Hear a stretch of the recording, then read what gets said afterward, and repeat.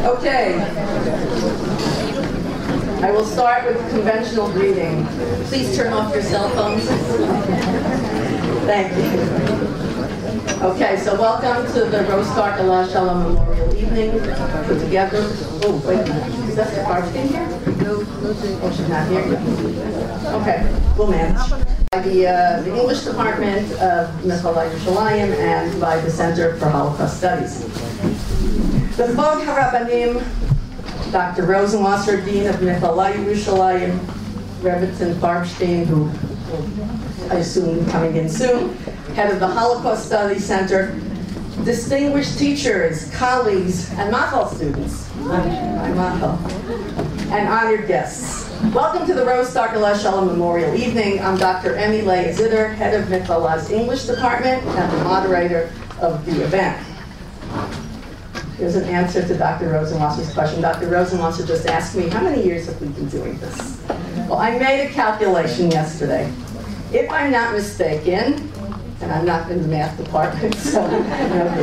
But if I'm not mistaken, this is the 13th year that Michlalah, that the English Department and Holocaust Studies Center at Michlalah have organized a special event together, and it is our 12th event because we had to miss one year for reasons beyond our control.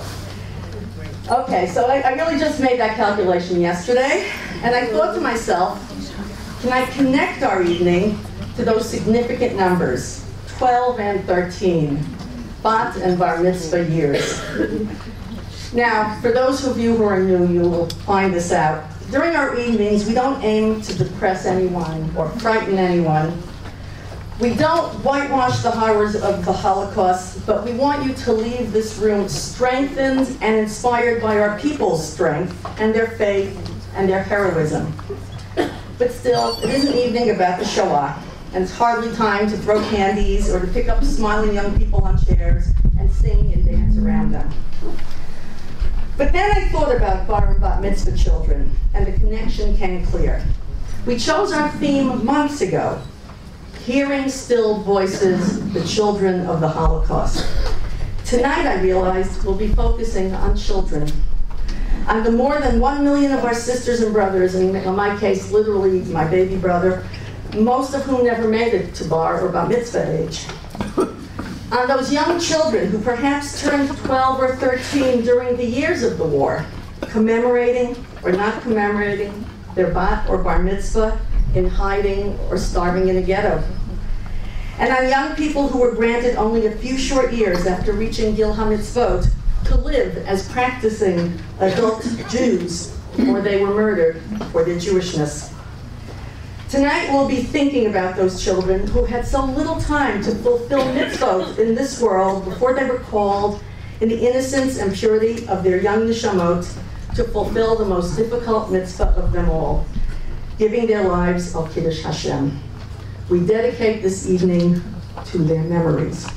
Now, to open the evening, it is my privilege to call upon Dr. Dvorah Rosenwasser, Dean of Michlalah.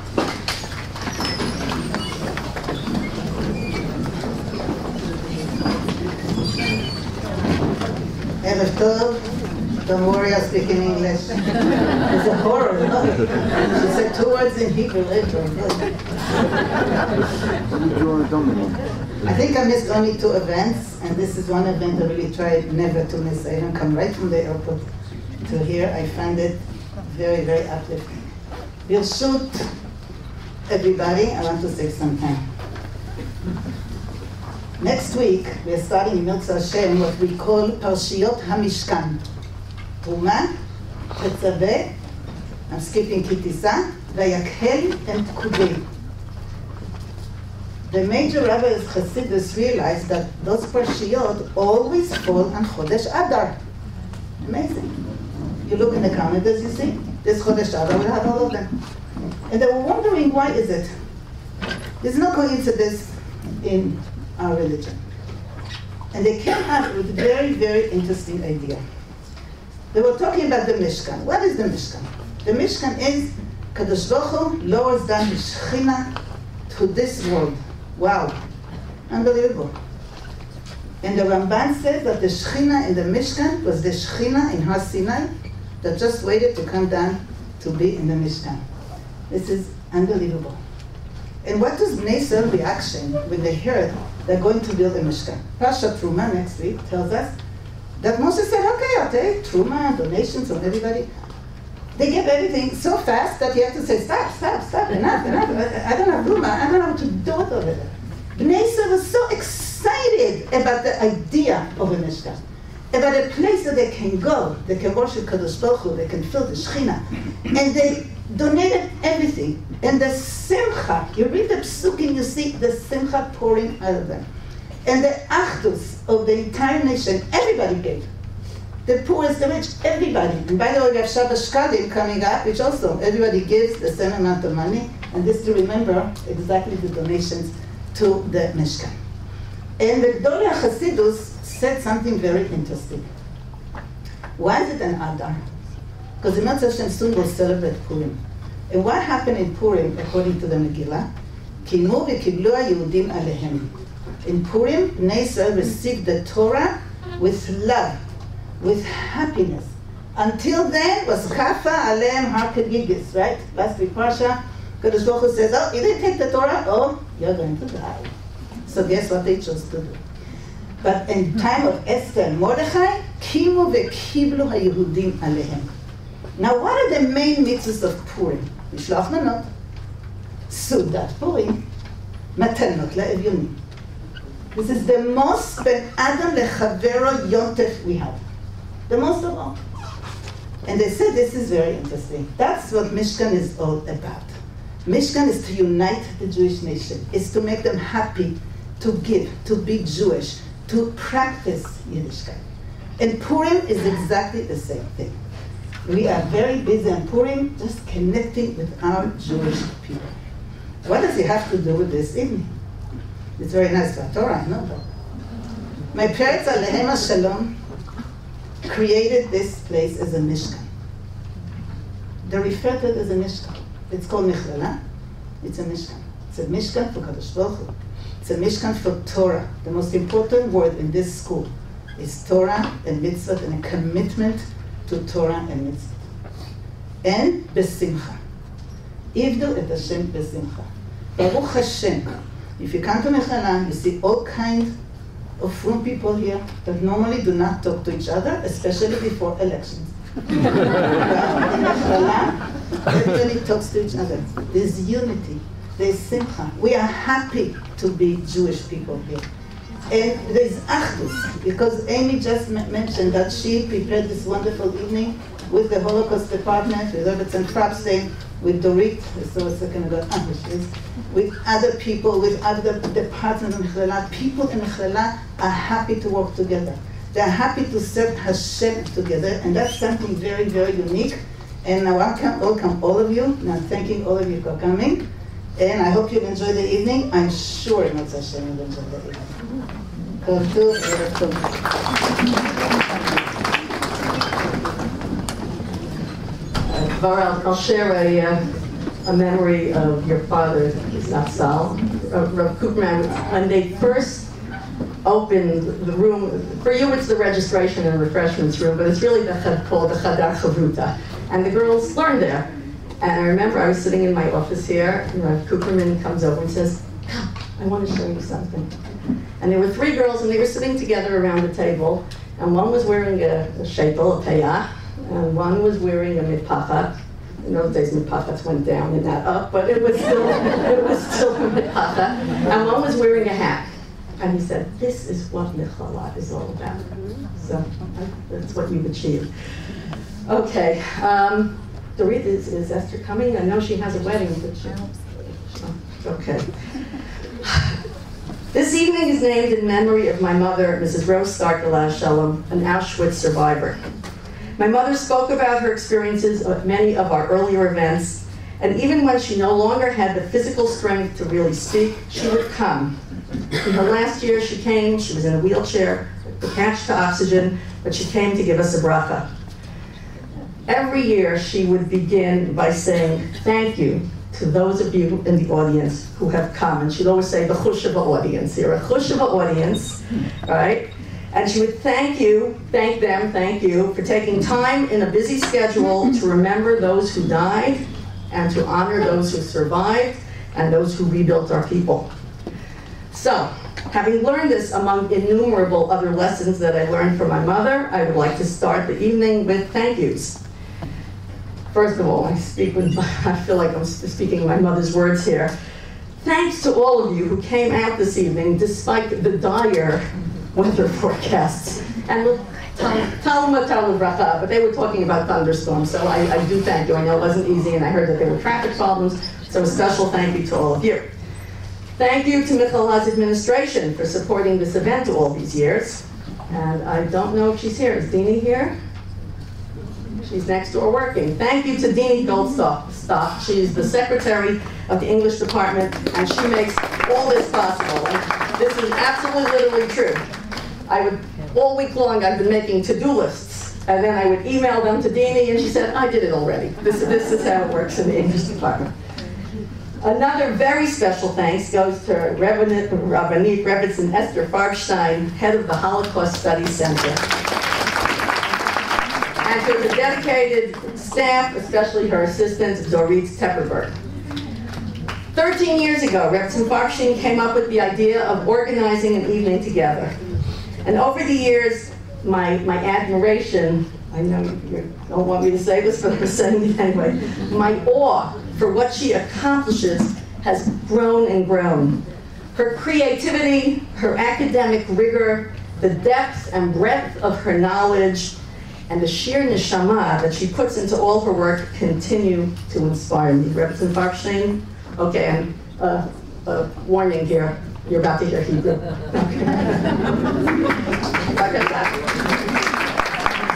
Sorry, after that it goes back to Brooklyn, not to worry. שלום לכולם. אני מדברת בעברית, אתם כבר זוכרים? אשתדל לדבר לאט. אמי, עם כל הרוח שלה והכיבוד הורים שלה שממשיך אחרי פטירת אימה, באמת מחברת אותנו עם הקהל החשוב הזה והנושא של זיכרון השואה. תודה, אמי. הנושא שאמי בחרה הערב, יחד איתנו, על ילדים, זה נושא שתמיד נוגע ללב. מה שנאמר נוגע ללב. אנחנו ערב פורים, אנחנו יודעים ערב פסח, ערב פורים, אנחנו יודעים מה זה משפחה, מה זה דורות. ואחד הדברים הנוראים שהיו בתקופה הזאת, היו הניסיון של הנאצים לכרות את הדורות. ולכרות את הדורות זה אומר קודם כל את הילדים. אני רוצה לספר לכם על אה, פרויקט מיוחד שאנחנו עושים כעת כאן במכללה, שנוגע גם לנושא הזה, ואולי יעניין אתכם ותוכלו לעזור לנו. תמיד הקהל שלנו הם תמיד גם שותפים. הרבה חומרים, מסמכים, אני מקבלת מהקהל שיושב אצלנו במכללה. הפרויקט שאנחנו עושים כעת הוא מכתבים ראשונים שנכתבו אחרי השואה. מכתבים אם אתם יודעים, יצא כבר ספר אחד ביד ושם. הספר של יד ושם הוא יפה, אבל הוא מאוד כללי. אנחנו בדרך שלנו מחפשים מכתבים של אנשי אמונה, של יהודים מאמינים, שכתבו את המכתבים הראשונים אחרי השואה. למי הם כתבו? על מי הם ידעו? זו שאלה מאוד גדולה. אם הם היו מבוגרים, לפעמים הם ידעו שיש להם קרוב או מבע. אם הם היו צעירים, הם לא ידעו אם יש להם קרובים, או שלא ידעו כתובת, אבל כתבו. כתבו לפעמים בלי כתובת. לכבוד הרב שמחה וסרמן, ניו יורק, אחד המכתבים. לכבוד הרב יוסה לוויינברג, ידעו שהוא פעיל בסלונים, ירושלים. והיו שידעו שזכרו כמו ב... הקפיאו את הכתובת וקצת ידעו. זה נושא מאוד מעניין, כי החיילים האמריקאים שבאו עם הצבא של ארצות הברית, הם היו הדואר הראשון.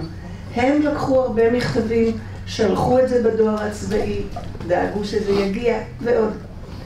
בתוך המכתבים האלה, שאני אחד הדברים הנוגעים ביותר זה מכתבים שמחפשים ילדים. אחותי השאירה ילדה, קוראים לה כך וכך, היא בלובלין. ניצול שואה, ילד שמחפש הוא יודע שיש לו דוד במקום מסוים. הילדים תופסים מקום מיוחד במכתבים האלה, ואני אספר לכם סיפור של מכתב אחד, מאוד מיוחד. מי שמכירה אולי בבני ברק, יש רבנית חשובה שנקראת הרבנית וולפו. היא אחות של הרבנית רישל קוטלר, זיכרונה לברכה, אשתו של רב שניאור קוטלר. והיא ניצולת שואה, הייתה ילדה קטנה בקובנה, הייתה בת חמש כשהתחילה שם המלחמה, בת שמונה בסוף המלחמה. אימא שלה, בקובנה, אימא שלה אה, לקחה אותה ממקום למקום. בסופו של דבר אימא שלה השאירה אותה בידי נוצרים, ואחרי המלחמה הייתה שם הרבנית חיה שולמן, היו גם אחרים, הוציאו אותה מידי הנוצרים והביאו אותה לקובנה. היא גם בקובנה הייתה לבדה עד שהיא עלתה לארץ. כל השנים הרבנית וולפו, שהיא קרובה וחברה טובה שלי, כל השנים היא הייתה אומרת לי שהשנים של השואה היא לא כל כך זוכרת. היא עברה ממשפחה למשפחה. אבל היא זוכרת שאחרי השואה לא באו לחפש אותה. והיא אומרת, זה בשבילי טראומה. הייתי ילדה בת שמונה בקובנה. היא זוכרת שהרב אושרי שם עליה מפעם לפעם לב. היא זוכרת, אבל אף אחד לא חיפש אותי, היא אומרת. עד שבנס לקחו אותי לארץ, באונייה, סיפור שלם. אבל היא אומרת, איך זה, איך זה, והיו לה, לה שתי אחיות. אחות אחת, הרבנית אה, רישל, הייתה בשנחאי במלחמה הזאת שנישאה לרב שניאור, יצאה מוקדם, ואחות אחת, שאחר כך היא הייתה הרבנית רחל סרנה, היא הייתה אה, גם כן בין גויים, ואחר כך בשוויץ. אבל איפה, איך לא חיפשו אותי, תמיד אומרת. אה, ואני מחפשת בין המכתבים שהם מגיעים אליי, קיבלתי לרשותי גם את הארכיון של הרב אושרי מקובנה, ואני פתאום מוצאת מכתב מאוד מיוחד, ואחר כך עוד מכתב. ובמכתב הזה כותבת הרבנית רישל סרנה לרב אושר, איפה אחותי הקטנה שולמית? אנחנו מחפשים אותה ומחפשים אותה. ושמענו שאתה פגשת אותה בקובנה. איפה נמצאת שולמית? אני חייבת את זה לאימא שלי, אני חייבת את זה לעצמי, צריך למצוא את הילדה. והמכתב האחר הוא מאחות רחל משוויץ שכותבת. ואחות רחל הייתה בקורנה, היא יודעת איפה הייתה שולמית. היא לא יודעת שהוציאו אותה מידי נוכרים. והיא כותבת, היא הייתה אצל הכומר הזה והזה, בכתובת הזאת והזאת, תוציאו את שולמית. המכתבים האלה עשו לי זעזוע. הדבר הראשון שעשיתי, נסעתי לבני ברק לשולמית וולפו, ואמרתי לה, חיפשו אותך. ההתרגשות שהייתה לשולמית היא אדירה. שולמית באותו שבוע צילמה את המכתבים, העבירה את זה לכל הילדים, לכל הנכדים. היא אומרת, אילו, אילו הייתי יודעת את זה קודם, כל החיים שלי היו נראים אחרת. סיפור, היא, היא, ברוך השם, הקימה משפחה ענפה, חשובה מאוד מאוד. היא בעצמה הייתה מנהלת בית ספר כל השנים, וזה סיפור של ילדי השואה, כל אחד פלא, מחוץ לכל הגדרה פסיכולוגית, מחוץ לכל הגדרה סוציולוגית. הקדוש ברוך הוא נתן להם כוח מיוחד וחן מיוחד, והם בנו את בית ישראל. זה סיפור של מכתב אחד באמת יוצא דופן. אבל אולי אתם יודעים על עוד מכתבים, אולי תשמעו על עוד מכתבים. כל עוד הספר לא יוצא לאור, אנחנו רוצים להפוך אתכם לשותפים שלנו. ובינתיים אני מאחלת לכם ערב מעשיר, מעניין, וכל הברכות שבעזרת השם נראה את ילדינו בריאים, שלמים והולכים בדרך אבות.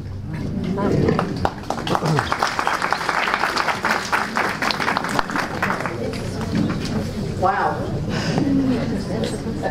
That story, it, it, it fits, working? It fits so well with what's going to be coming up for this evening because we're going to be talking about a diary that just showed up 60 years after, it's about 60 years, right, after the, uh, after the Shoah. And what, what it tells us is that the story has not completely been told. Maybe it will never be completely told. There's so much yet to find out. And people like uh, Rabbanit Farbstein and her, her staff. They're the ones who are, who are looking for these, for these things. Okay, uh, do you want to give the bracha now? Okay, so, so Rabbanit Farbstein just gave a beautiful bracha, and we're going to follow that with another bracha. And there's a little background here. Um, probably most of you, do you want to get up or, or oh, okay. I'll try. Here. Okay, here we go. On this, uh, side. Okay, Never thought it would be so hard to get up one. Okay, let me introduce you to Mrs. Eva Weiss from Chicago in Rehovot, known in our family as Puppy Chicago. That's how we in New York we called her. We, this is my mother's cousin, and she's an Auschwitz survivor. My mother always gave a bracha, and this year we have asked Chavi to give a bracha to the Kahal. Can I just tell them the story about why we give the bracha? Okay, okay, so somebody, um, a lot of you I'm sure are familiar with this story. Was it the Satmar Rebbe? I think it was the Satmar Rebbe was, was going to, to, I think, from, from New York to Israel, Israel to New York, I don't know. And, and his Hasidim came over and said, Rebbe, when you're away, who's going to give us a bracha? And the Rebbe answered, if you go to shul and you see a man and you see a number on his arm and he's wearing tefillin, that man can give a bracha. And my mother would always say, it's good for a man, it's good for a woman also. That was my mother's story.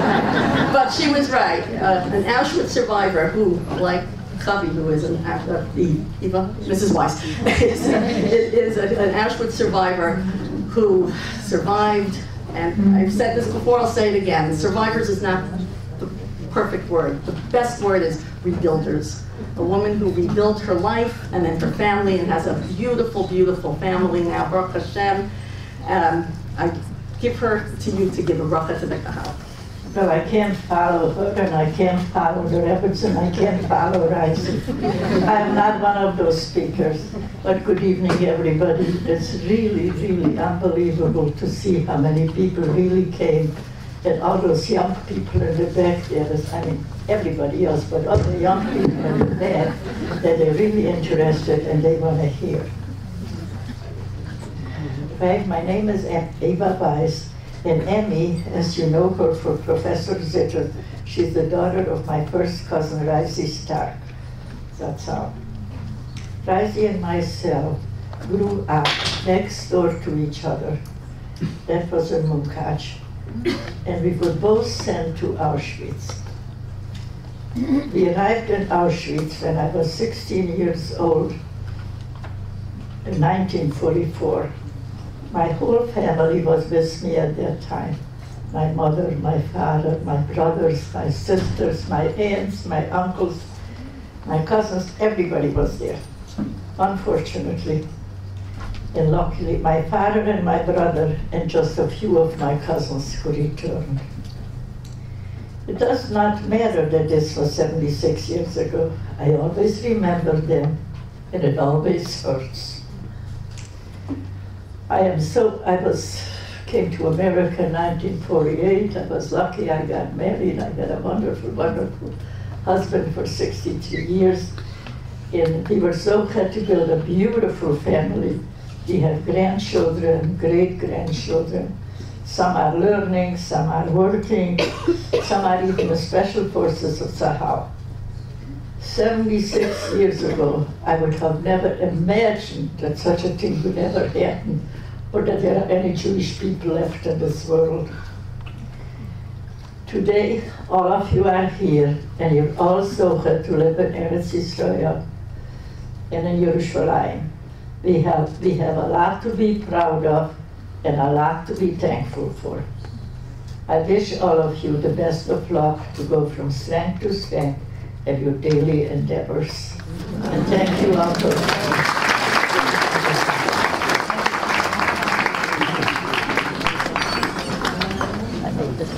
Thank you, Chavi. Okay, now, I'm just going to speak a few minutes about my mother, and then we'll get to, to the, to the, uh, to the official speakers. Um, However, I need technical help here. Uh, uh, Technical help here. Get, get me into the, into the PowerPoint here. Um, Many of you were Zocha to know my mother. personally, some of you heard her speak in those first five or six years she would, when she would speak. I just want to move it to the next slide. Yeah, okay. Uh, you know something? Uh, Can someone hit the lights? Is Deanie here? Does somebody who knows where the light switch is? Uh, I think it's on that wall somewhere. Dorit, you know where it is? Ah, there. Okay, can everybody see? Um, Okay, so as, as my cousin Tavi said, my mother was born in Munkach. Um, You're gonna ask, so where's Munkach? And you remember the little boy? Really? You're gonna ask me where's Munkach, and I'll be Jewish and I'll answer with a question. What year are we talking about? Munkach switched from Hungary, Czechoslovakia, Russia, Ukraine in the 20th century was a very turbulent time. But she was born in Munkach. Her father was Yisrael uh, Marsha, the Bekische Schneider, the tailor who made Bekishes. Her mother was Malka. Uh, among other things, Malka was known as a Zukrita. Do you know what a Zukrita is? On Friday nights, the women would come and she would read the Tzenorena to them. Uh, it wasn't such an easy life, but it was it was a good life, no? Tavi, my mother, she had a lot of stories about the vibrant life of Munkach with all the Hasidim, and it, it was it was a happy time to, for her to grow up there. Um, she did get married, and Chavi just said she remembers their wedding. She got married to Yossi Steiner. They had a baby, Shlomo Nuchum. And Nachum, how do I move this to the next one? Please. And then came Auschwitz. This is for me a, a hard picture to look at. It's my mother's arm. They all went to Auschwitz. Tavi just told you this, right? My mother went with her parents, her in-laws, her husband, her baby, three sisters, Iga, Sura, and Nessie, and their families. And of her immediate family, only she and one nephew came out a year later. My mother went then to Sweden for a few years. She was one of Count Bernadotte's uh, girls, and she went there for shikum, uh, for, I'm sorry, rehabilitation. Um, she saw that the, a lot of the girls in Sweden um, were starting to assimilate. Most of them just wanted to get married, and the, there was assimilation. She desperately wanted to come to Palestine but she couldn't get what's called a certificate, right? Because she had an uncle in uh, America and she was told, look, there are so many Jewish girls who have no place in the world that will take them. You have an uncle in America, you have to go to America. So she did. And she got married there. And I'm addressing this to all you beautiful Mahal girls, you seven girls it's not the same time, thank God. It's, it's not the same circumstances, but you can learn some, a little bit uh, lesson from, from my mother. Um, you all have your lists, right? The list, what you want when you're Khatan, your Khatan somewhere has a list what he's looking for Kala, that's fine. My mother had a list too, she told us. She wanted a man who would be kind and observant. End of list. And she found it. She found my father. He was 20 years older than she was. But with him, she made the family. And if you can tell me which one is me and which one is my sister, you're better than I am. my mother never mixed us up, and since she's gone, we don't know in the pictures anymore. Uh, I I assume. think I'm on the left because I look mischievous and she looks sweet. Okay, and we're jumping ahead. My mother did fulfill her dream of coming to live in Israel. She was in her 70s. She used to compare herself to Avram Avinu. She also left a, a nice settled home in Borough Park and came to Israel. And she said that in her 21 years living in Yerushalayim, she said never once for one minute did she ever regret that decision. Um, she would sometimes sit on her teeny weeny little mirpeset in Harnof, and you know what she'd say? She'd say, kick Hitler, ich weine in Yerushalayim. For those who don't understand, Hitler you want to. I live in Yerushalayim. She got her, we're not a people of, uh, we're not a vengeful people, right? Lo tikkun below titar, but we're ones who remember, we ones who seek justice, and we do know how to get revenge. And that was part of her revenge. Israel is part of our revenge. This is, was one of my mother's favorite pictures. This is my son who Nathon was hiding behind the column there. Uh, this was her, her first grandchild to serve in the Israeli army. And this was a very special moment for my mother. Uh, you can see her in the middle. This was just a few months before she died. She's on the oxygen. She doesn't look well. And many of her grandchildren are living here, and my sister in America brought all her children here. Um, this is, far as I know, the only time my mother was there, uh, was surrounded by all 12 of her grandchildren. And I compared her before to Avram Avinu. Here she has, uh, comparing her to Yaakov Avinu with his 12 Shvatim. So, uh, Baruch Hashem, we don't have a picture of everybody. We give them too many different places, but there have been many, many uh, great grandchildren also. So I end with this picture of my mother, Aleha Shalom, with one of her uh, great grandchildren. That's my granddaughter, Maria.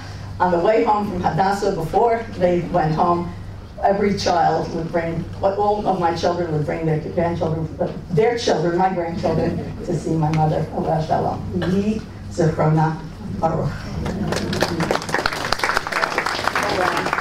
Oh, let's go back to this. Okay. Uh, I'm about to hit the wrong button. Malcolm? he drives tanks and he fixes PowerPoints. He's very, very handy about it. Okay. Um, I think now is Zahava and Tohar. Are you ready? Okay. You've heard a lot of talk now, so let's have a little bit of music. Oh, but you know what? Let me tell you something about this music. First of all, let me tell you about these girls. Zahava and Tohar, you're here? Uh, here's this. And there's this. Can we put them together? Hold on. Tech support. Anyone know how to use these things? I blew in it, that's good. Can we put this in here? Uh, hey, not. What am I doing? Oh, okay. Oh, look at that. Um, okay, can we make this full, I want this to be full screen. Actually, I don't want this to be full screen. Um, Zahava, you want to put on whatever you need to put on on the screen? Um, we're going to, first of all, this is Zahab, Zahava and Tohar. They are third year English department students, and they are very talented, and they're also very kind, because they're in the middle of finals, and being they're also in the middle of their practicum, which means three days a week they are teachers. And yet, when I asked them to do this, they said they would do this. Um, they're going to play for you a song, so, since um, our, um, here, what? Oh, this has to be on, so let me just introduce you first. Oh, sure. Okay, since we are talking about children, they're going to be playing a lullaby that was written at the end of the 20, uh, 19th century that the children of the Shoah probably all knew and heard. Now, as it happens, Rabbi Teller, this just happened today. Um, I'm, I'm going to quote your, your, your book. I picked up Rabbi Teller's book about the children of the Holocaust, and I started thumbing through it. And I found on the first page, here's what he writes. As night falls in all corners of the world, in all households where there are parents and children, the tender music is the same. Listen carefully. Can you hear it? The timeless sound of a lullaby. The soothing voices of mother and father promising their babies that they are safe and protected, that all is right with the world. This has been the message of every lullaby in every language and culture since the days of antiquity. The word itself, some believe, derives from Lila. Did you know that? Not know that. The Hebrew word for night. Enveloped within a parent's solid embrace, lulled by a familiar bedtime song, children are, are, are reassured that no harm will ever come to them. But what happens when, in one dark, helpless moment in human history, this sacred promise from parent to child cannot be kept? Oyfn Pripetshik. What is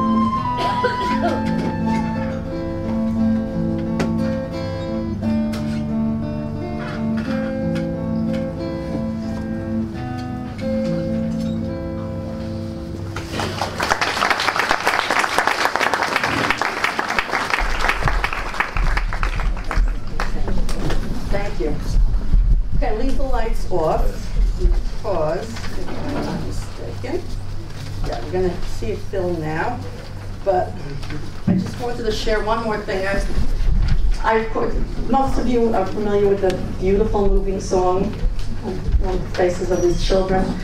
Um, many of you perhaps like, me just really know the first stanza. And I looked into it. It's got, it's got several stanzas.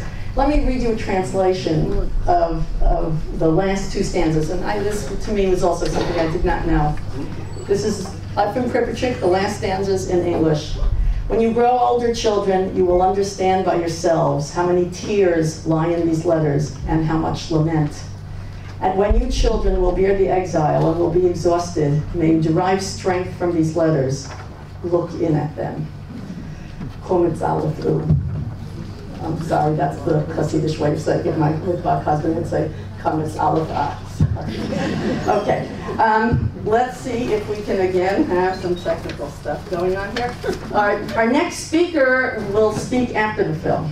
Okay, we have another speaker, and we're, we're about to introduce you to an extraordinary story of an extraordinary young woman who lived through the ghetto of Lodz, lived through Auschwitz, and I won't tell you more. Watch the film, and the film will be followed by Mrs. Hadassah Halamish, who is a, a cousin. She'll, she'll, tell you all about her relationship with Rivka Lipschitz. Okay, now, what I need to do now is get this out of here. That is, wow. Okay, it is my pleasure to uh, uh, ask, you, you, saw her just, oops, you hear my email.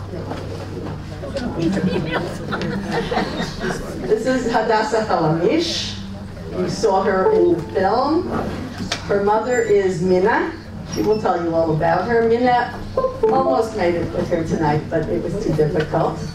And um, uh, you'll, you'll help her? Do you want the lights on or what? The lights will go off again. Okay, uh, and she's going to give you the, the, personal family story behind this incredible story. Okay.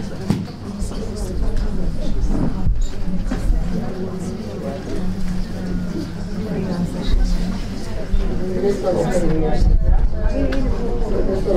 Yeah. I Okay.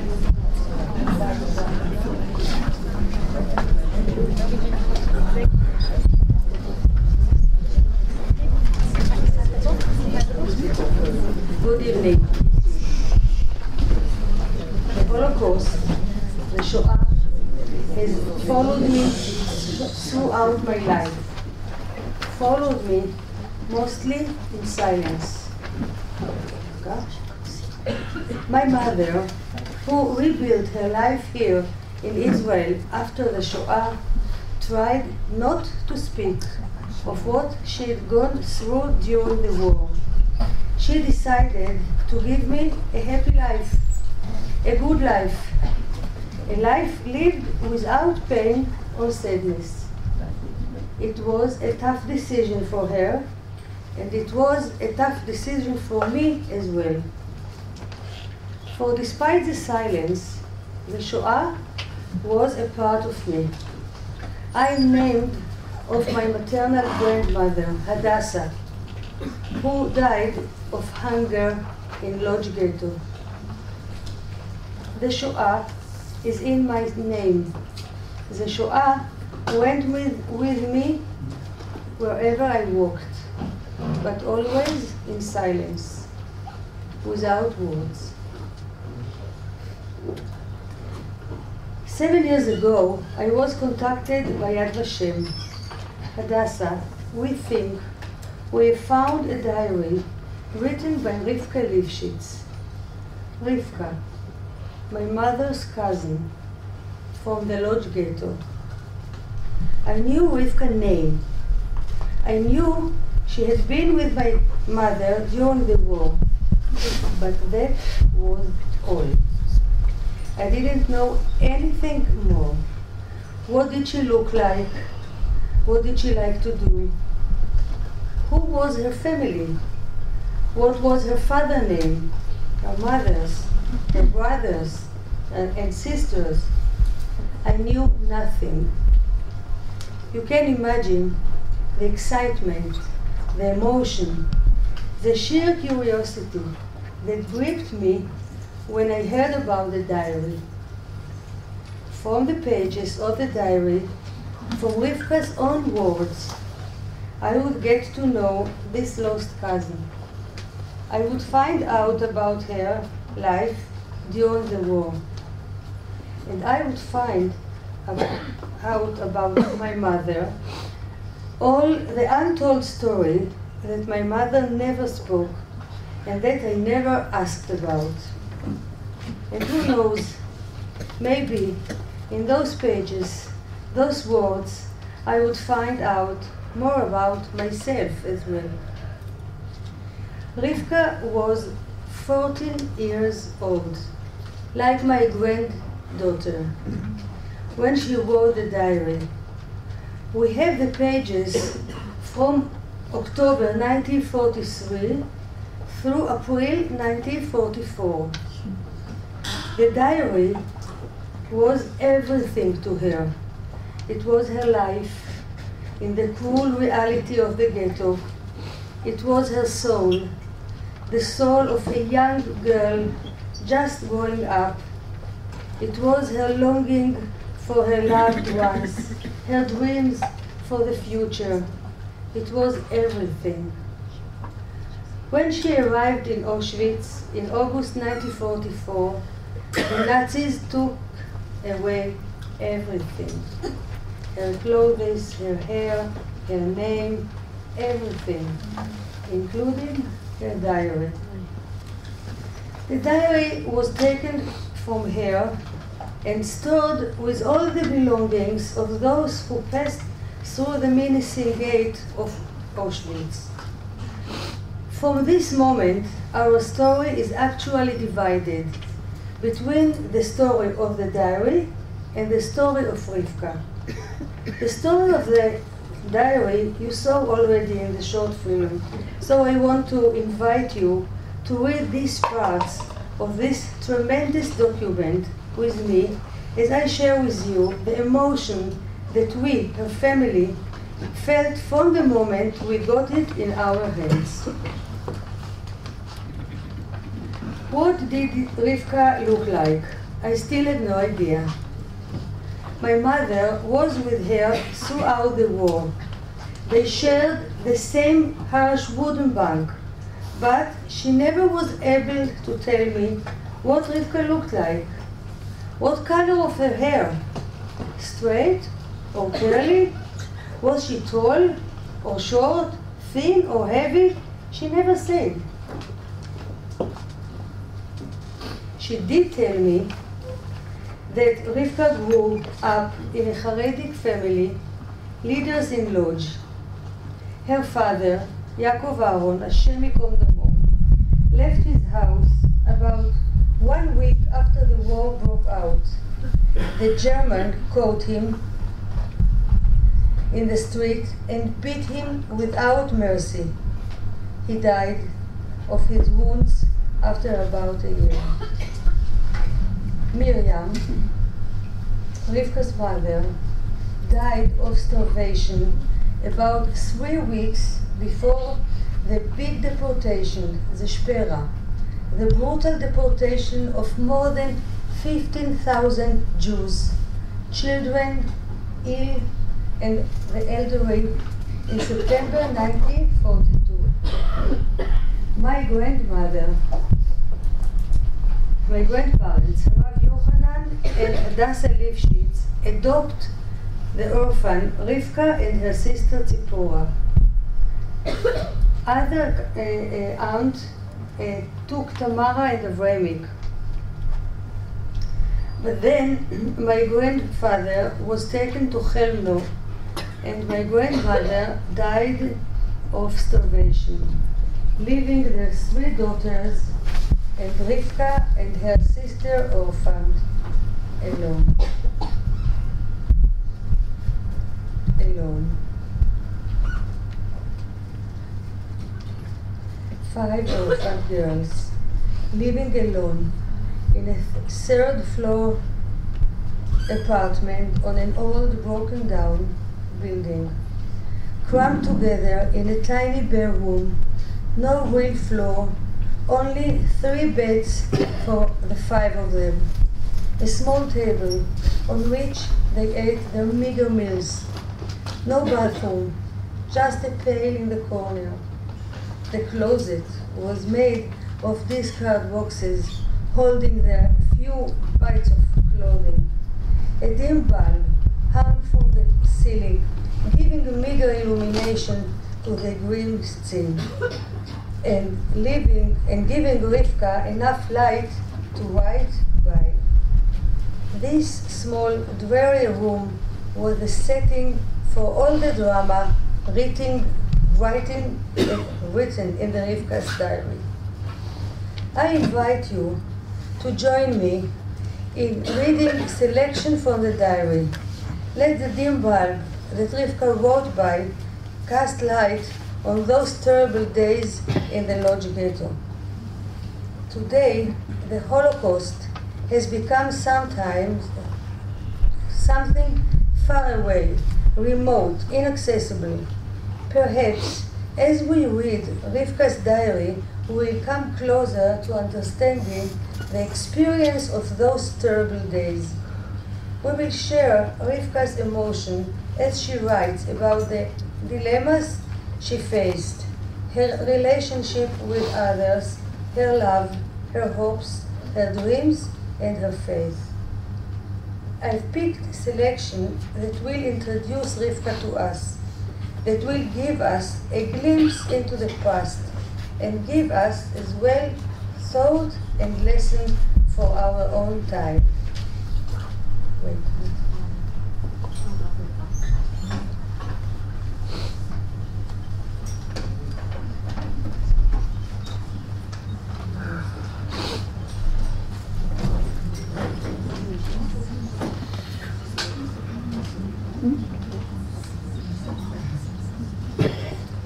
The first topic I've chosen is hunger, starvation, the lack of food that perhaps more than anything characterized the Holocaust.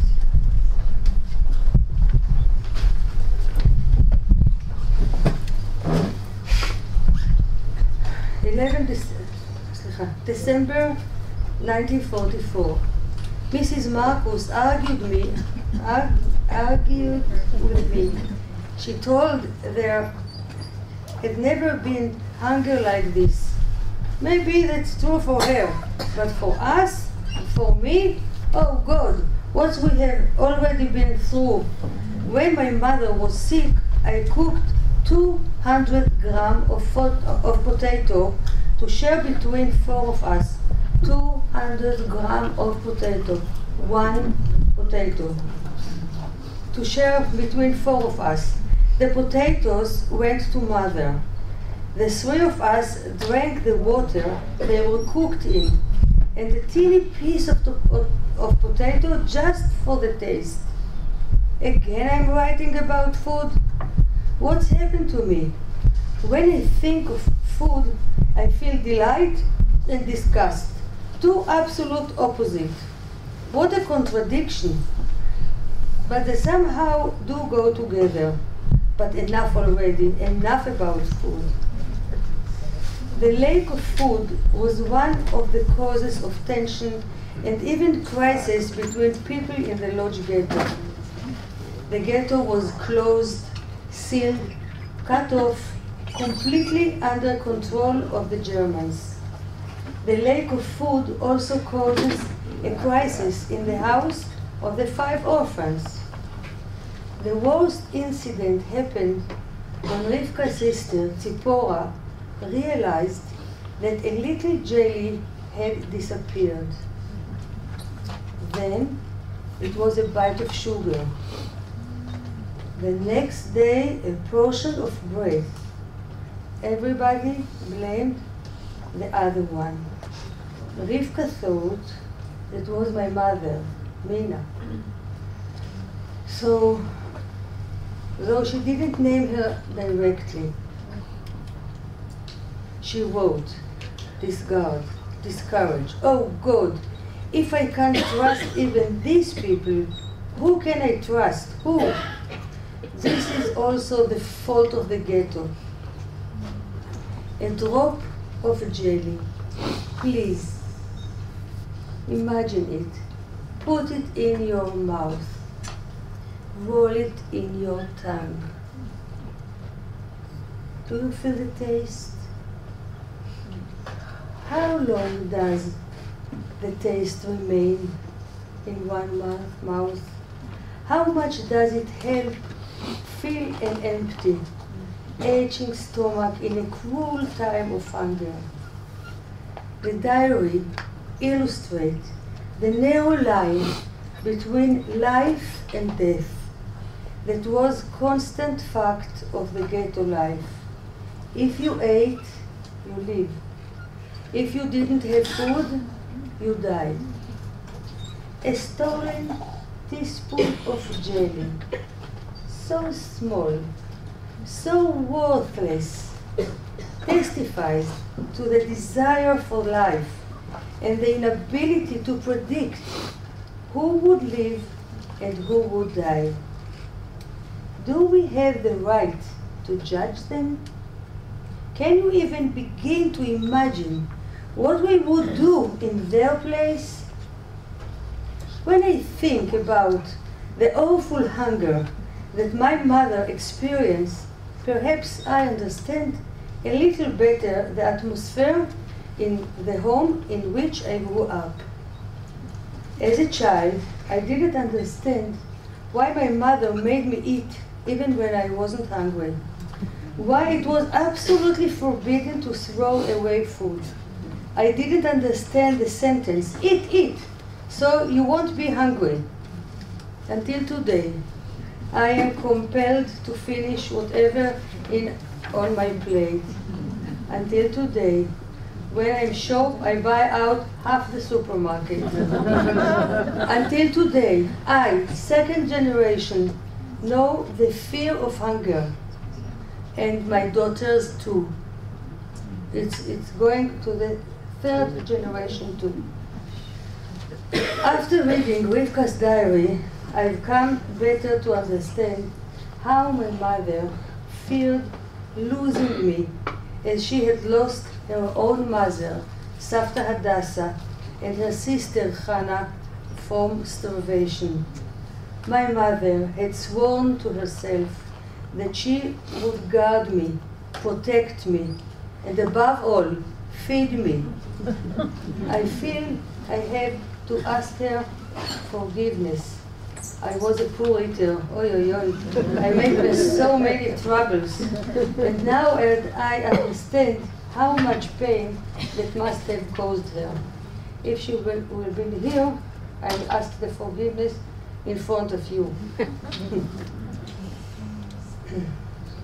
the next topic I want to ex uh, explore is family. April 5, 1944. When I remember that now I can't look at my father just as his photograph, but never again at my living father, my living father, I will never see him again. God, how awful this is. And now come the third Leila Seder without my father, the second without any man at all. Last year we had Hadassah, but today Esther. Oh, how tragic it is. Is only if only Avrahami were here. Oh God, Davka on Pesach on Seder night to be left without a father. Oh, how I miss him. I miss them so much, and I feel guilty.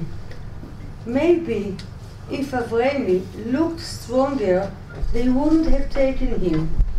He was such a good boy. He gave me his bread so many times.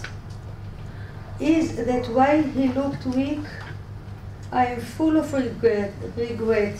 I feel like crying, crying, crying. I even feel like howling. One of the tougher ways that Rivka dealt with the pain of her losses was through her feeling of guilt. Why didn't I do enough to prevent the tragedies? Did the tragedies happen because of me? Which bring us to the question of survivor guilt. They died, I didn't. This is a feeling that every survivor has faced, the pain of guilt. The fact was, Rivka and Zipporah joined a family already living in extreme poverty and in a teeny, crowded apartment, a family in distress, facing hunger and starvation. And now, here were two more mouths to feed from the teeny bites of food given sparingly. Five orphans living in one room, no adults to guide them. Is it any wonder that there were moments of tension and suspicious between them? This was yet another tragedy brought upon them by the Nazis. Can you even begin to imagine the significance of the loss of the family, the root of all that is secure and stable? So many survivors consciously decided to build family at, at any cost. The security and the stability that family gives, the security and stability that was stolen from them, was more important than anything. The survivor often see in their rebuilt family the ultimate revenge against the Nazis. My mother would say, they, they thought they would destroy us, but we arose from the ashes and build new family. True hero.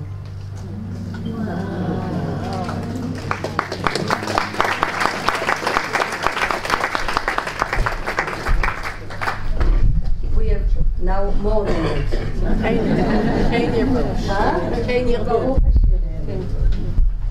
I was the first blossom that bloomed from the ashes of my mother family, a blossom rooted in the painful history of our people.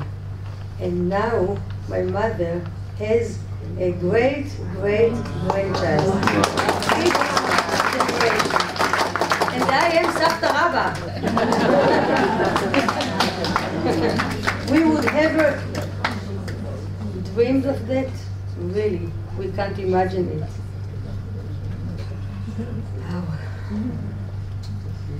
The next topic I'd like to touch on is Rivka's incredible strengths in dealing with the hardest of hard times. Rivka, faith in Hashem, is the main source of the strengths that she displayed.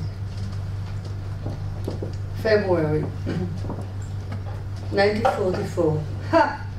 I laughed at all the world. I am the pitiful Jew in the ghetto. I am the one who doesn't know what will be with me tomorrow. I laugh at all the world because I have a road to lean on. The greatest, largest possible road, my faith.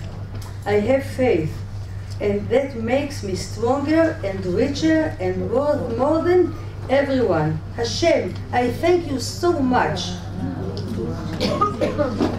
Rivka saw those who did lose their faith.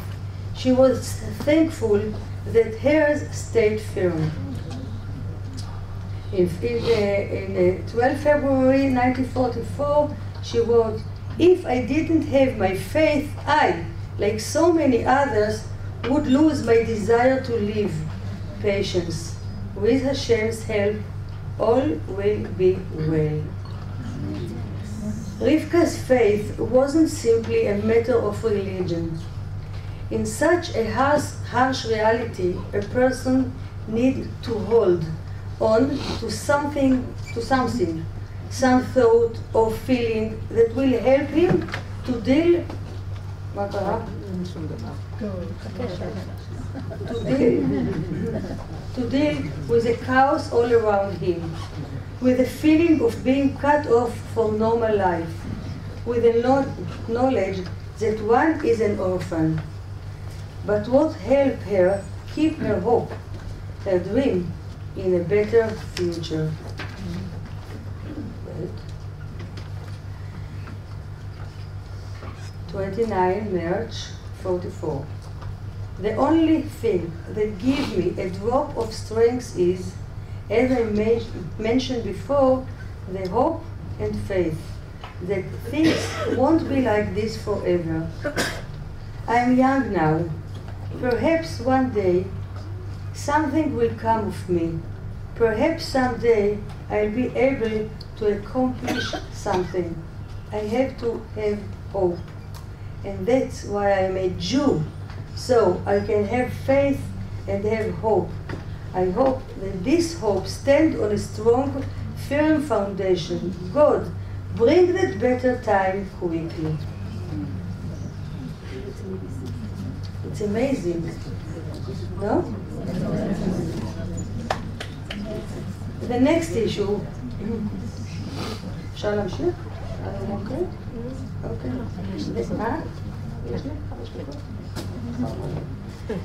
The next issue I want to look at it is writing. To write. Simply to write. Then I can forget about food and all our trouble. I wish that Hashem would give Sarah, Sarah is her, her mentor, health and happiness because she gave me the amazing idea to write a diary. Occasionally, when I think about writing, I feel like I can't write a word. But when I start writing, I have so much to say, I almost don't know where to start. So Rivka wrote and wrote. She wrote her heart and, and soul in the miserable room by the light of a dim bulb. 120 pages of cramped handwriting. 120 pages of her thoughts, her feelings, her longing for those she had, she had lost. Writing in a diary gave Rivka moments of comfort, a chance to express what was in her heart. That might be true of everyone who writes a diary, but how much more so for Rivka, writing under unendurable circumstances. Writing the journal allowed her to examine her set of values and her perspective and to express her gratitude for her belief. She even dared to dream of writing as a vocation. Love.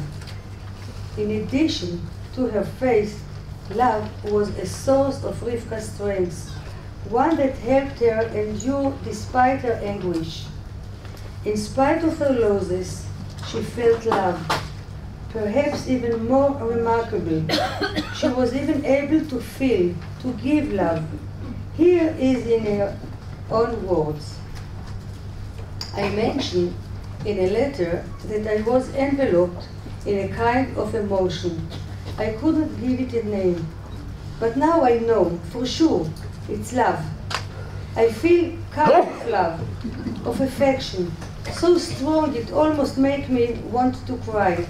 I want to surround the whole world, hug it, warm it up. I have a desire to do a lot for the world. Rivka loved the whole world. She was grateful for every flower that grew nearby, for good weather. It's almost frightening to read how much hope was within her as she wrote in the diary just a day before the deportation from the ghetto. Thank God for springtime and thank God for my mood today. I don't want to write much about it. I don't want to spoil anything, but I'll write the single word, the most important word anyway hope. When I read this election, I was amazed. How did Rivka, just 14 years old, find a way to strengthen herself, her faith, her hope? How did she gain such strength from her writing? How could she even think of the future in a place of hopelessness and despair? The word hope, and the next day, deportation. As what happened to Rivka? She survived Auschwitz with my mother. They sent to concentration tra- uh, camp, and even she survived the death march. She was liberated on April 1945 in Bergen-Belsen. She was very ill, weak, and close to death. The doctor said she will not survive. My mother assumed she died and left her behind and didn't look for her till the diary come up to our life. But later, much later, seven years ago,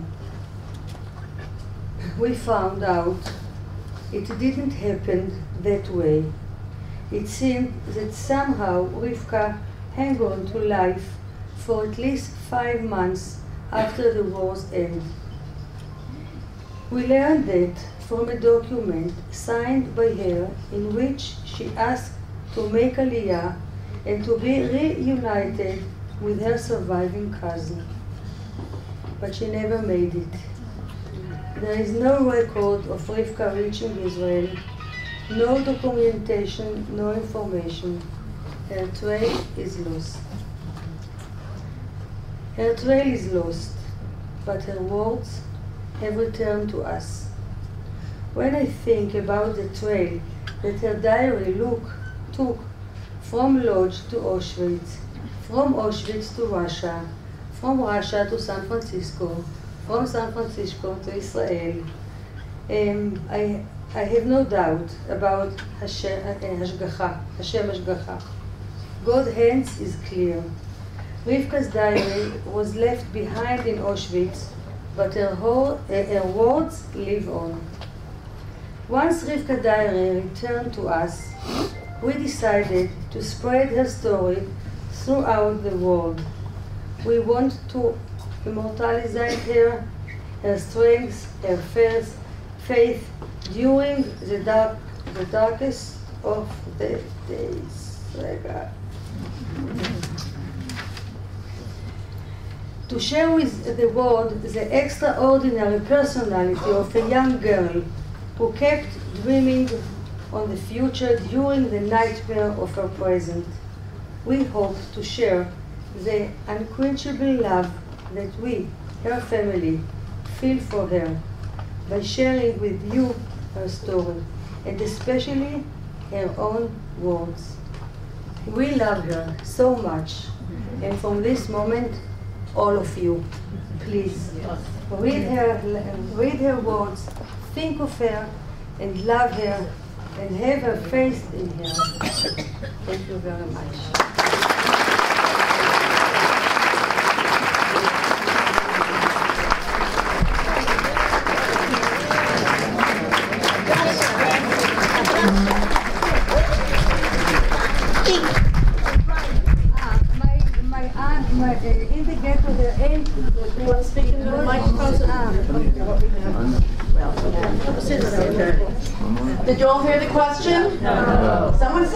They find ink? In the beginning of the, of the ghetto, they have everything. In the beginning of the ghetto, they have everything. But no food. Huh? No food. No food, but ink they had. And my and my aunt Esther uh, even go to search for her ink, and you can see when you look at the at the, at the, at the diary, you can see some somehow uh, there is a, a, a other other colors. Sometimes, sometimes, sometimes different colors. So- Sometimes it's a, it's a blue, sometimes it's a green, sometimes you can see. But in the end of the ghetto, it stopped the ink. So you can see the, the, the writing is going losing, losing. Where is the diary now? In Yad Vashem. In Yad Vashem. In Yad Vashem. Does your family have access to it? Yes, of course. Yes, of course. You can go go to see it too. Everyone can go to see it. But, but we need to invite. Invite The the. book is published, the translation? Ah, thank you for the question. The book, the book, anyway, the, the book is published uh, uh, last year, last year here in the Michlala in Hebrew. And it's available uh, afterwards for sale in the, in the, the Hebrew one is available here for sale. The English. There is in English, I, but I don't know where I, you can buy it. Where can you buy it? I think it's on Amazon, but I will check. If you like, I, will see if I can find the link and I'll send it to you. No, no, no. No, no, no. It was mentioned that the diary was found before the, uh, uh, in Auschwitz. Where was it found? I know that No, the it's a, it's a big problem, it's, it's a big problem, problem. As you, ah, as you, as you saw in the film, uh, the doctor that found it uh, took a, a, a newspaper with a, a photograph with a, um, the oven and, and she write, uh, here I found it, but it can't be, it can't be. Because there's, it can't be. We think it was in Canada, where all the belongings to the uh, people that came to Auschwitz, they took it to a big, big, big מחסנים, איך אומרים? In Canada? Store, store, this, uh, I think it was there. in- Canada? It was Canada. It was Canada. Oh, Oh, country Canada. Canada, in Auschwitz, in In Auschwitz, there was an area called the Canada, and that was a storeroom, so they think that's where it was. No, it wasn't the Canada. Belongings, right. And before, and before she left uh, her duty in, in Auschwitz, she took it. She, she tried to translate it, but she couldn't. This was the doctor. The doctor in The doctor, she tried and to look, maybe she knows who, uh, who write it, but she couldn't do it, so she, she left it. And then, 17, she's, uh, he is uh, six weeks. Uh, and uh, my sister, uh, she lives here in Beit Bagan, and she has 13 children and more than 40 grandchildren, but it's only the beginning.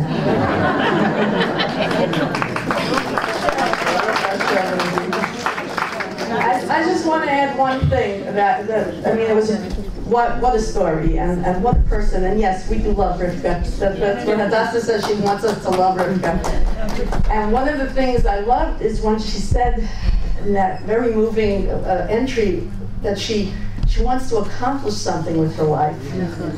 There wasn't much time given her but look what she has accomplished. It took the years, but and and her voice. We call this uh, hearing stilled voices. Her voice was stilled, but we're still hearing it, and we will go on. Uh, thank you so much.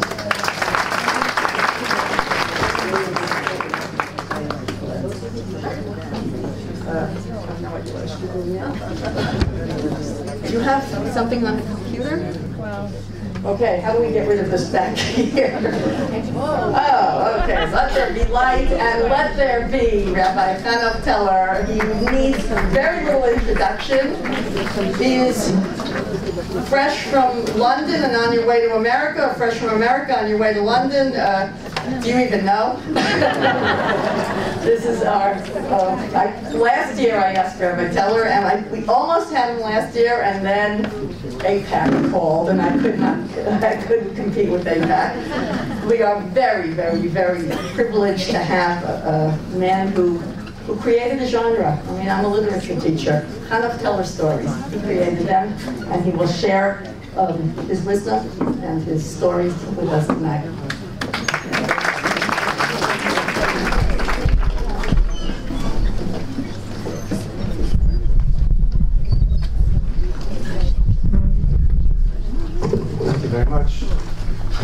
Chairperson Dr. Zitter, Rosh Michlala, Dr. Rosenwasser, Rai Rabotai, cherished colleagues, notable students, ladies and gentlemen.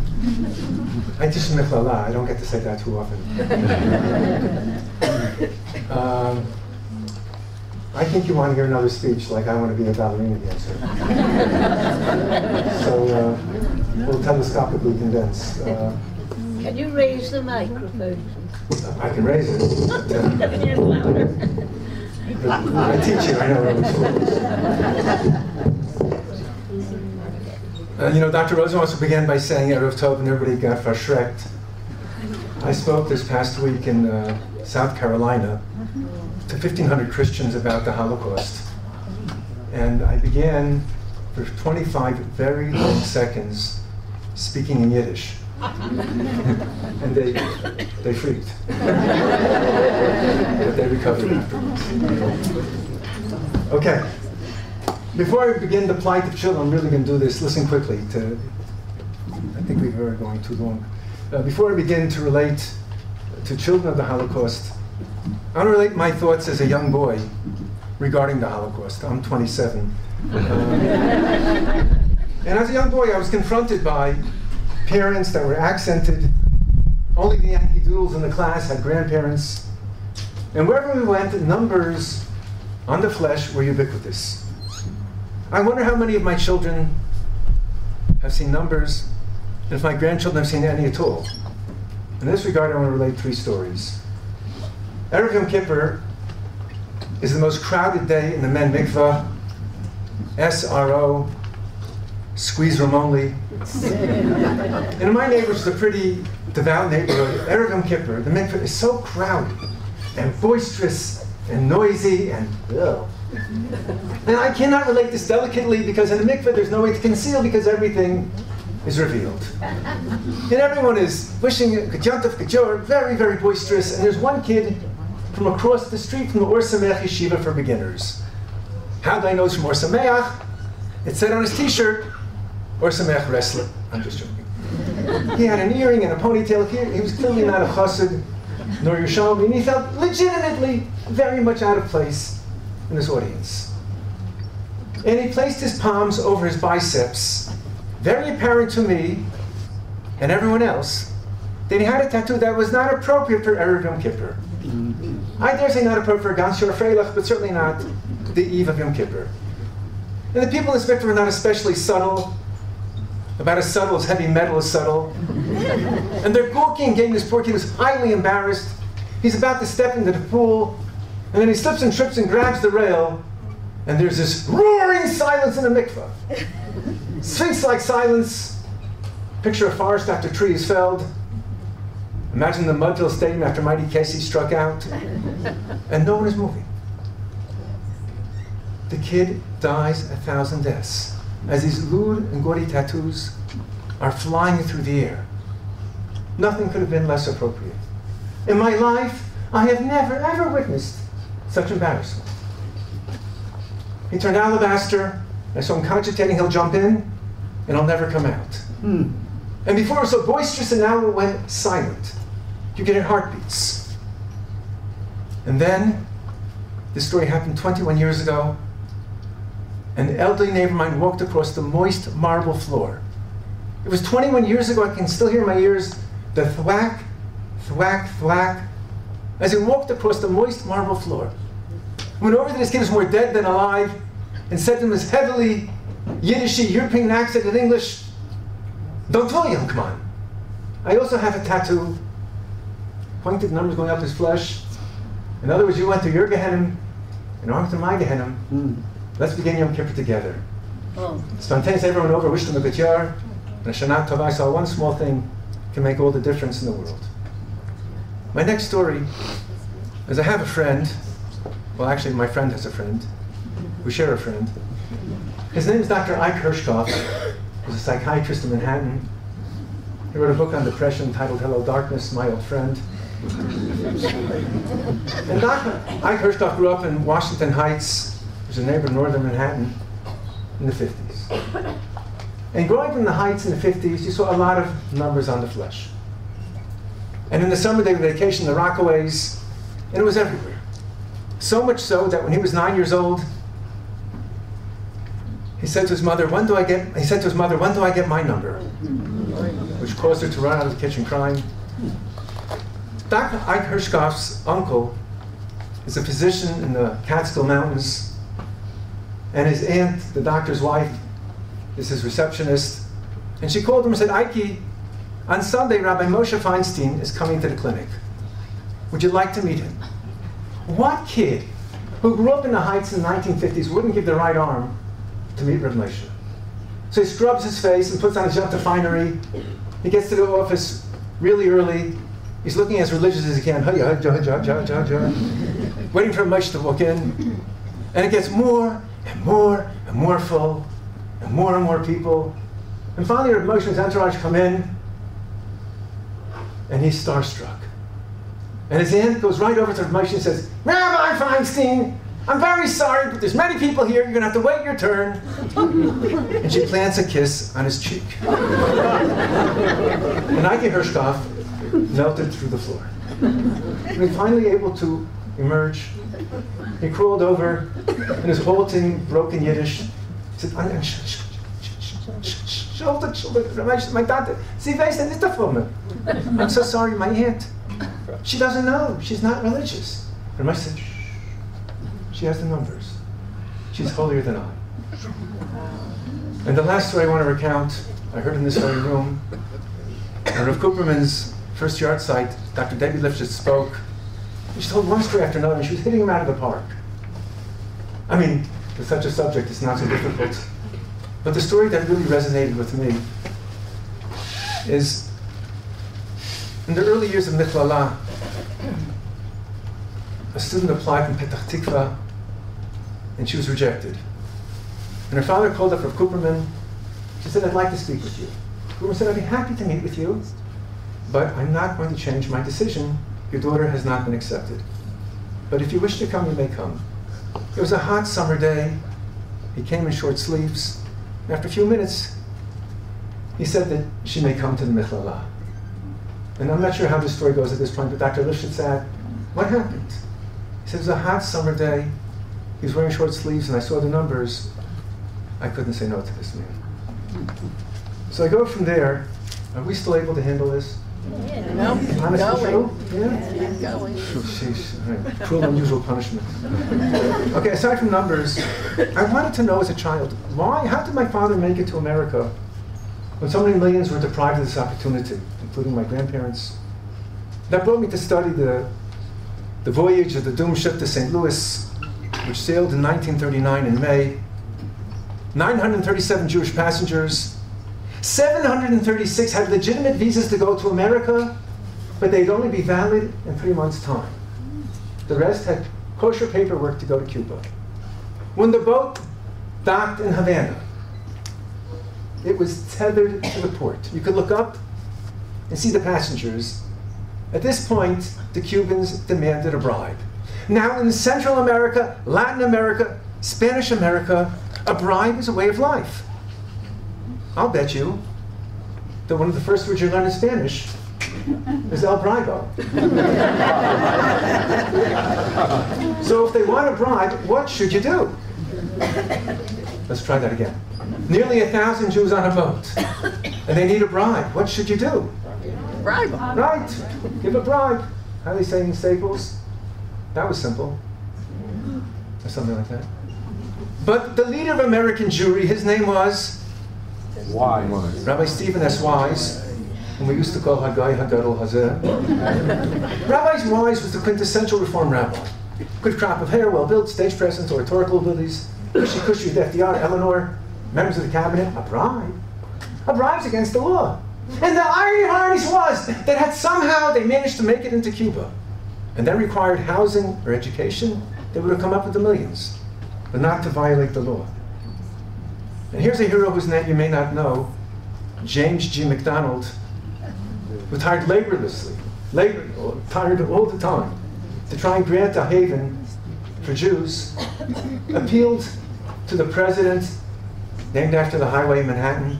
And by the way, if you would ask a Jew in the 30s who was a leader, they would respond in Yiddish, in the drei Welten.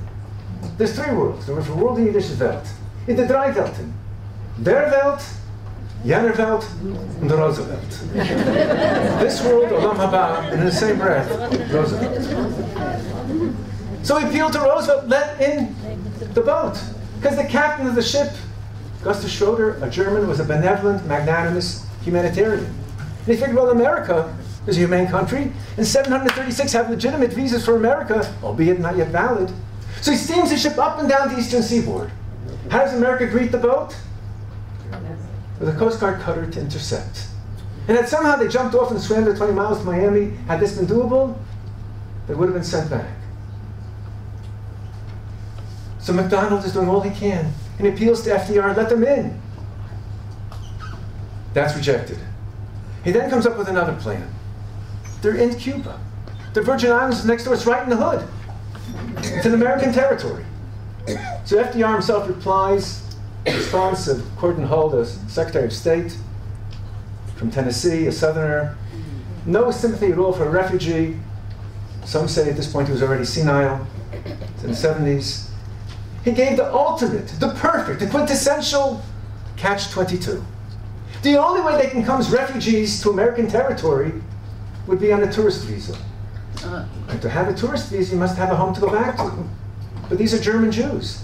They were deprived of citizenship from the Nuremberg laws in 1935. So therefore, they can't come as tourists, as refugees to America. The State Department's visa division was headed by Breckinridge Long from Fort Worth, rabid anti-Semite. The short on long is that he would do everything possible to slam the door of America so no one can enter. One spin-off of State Department policy were the Musy negotiations. If you're not familiar, that means you don't read enough Teller books, but it's rectifiable. Jean-Marie Musy was the former Swiss president. He was a chum of, him, of Himmler, a sympathizer of the Nazis, but during the war his perspective changed. Towards the end of the war,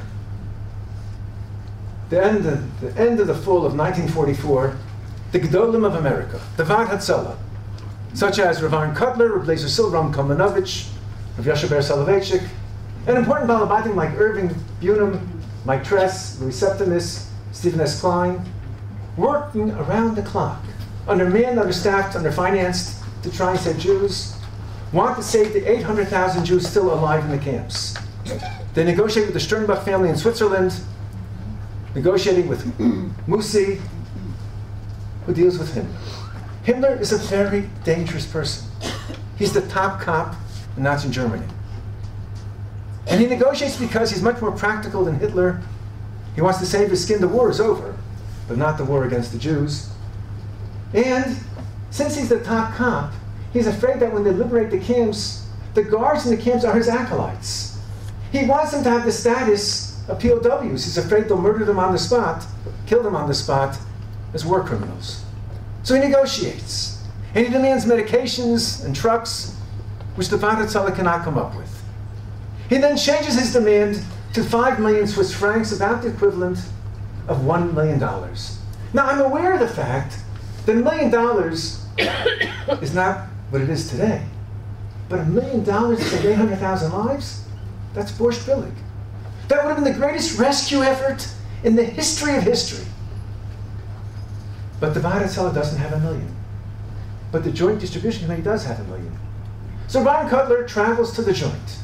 Rav Aaron is the classic Lithuanian Rosh Yeshiva. Gray, short, long black coat, svarim, stooped, maybe even a little dandruff.